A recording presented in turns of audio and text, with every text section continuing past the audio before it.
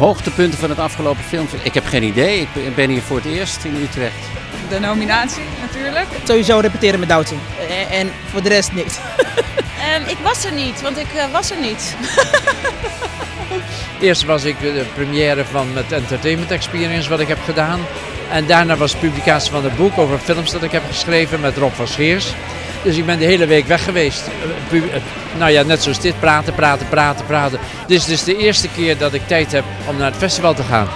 Ik vind het heel fijn dat de domino-effect van Paula Vloes eindelijk uit is. Want dat heeft echt jaren geduurd. En dat ben ik echt heel, heel, heel blij voor haar dat dat is gebeurd. Hoe zie jij de toekomst van de Nederlandse film? Uh, nou ja, als, als het inhoudelijk, inhoudelijk vlak heel rooskleurig wordt, steeds professioneler en beter en, en, en, uh, en mooier. Maar financieel uh, wordt het steeds moeilijker. Het gaat goed met de Nederlandse film en ik hoop dat het, dat het zo doorgaat.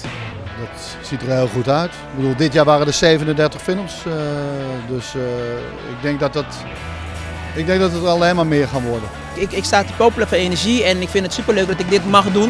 Uh, de eerste keer live op televisie, Gouden Kalver. Het is een groot evenement, dus ja, ik ben heel blij. Jan Dino is, doet natuurlijk de presentatie ook samen met mij. Hij is de co-host, dus ja, door hem is het wel, valt het wel goed te doen.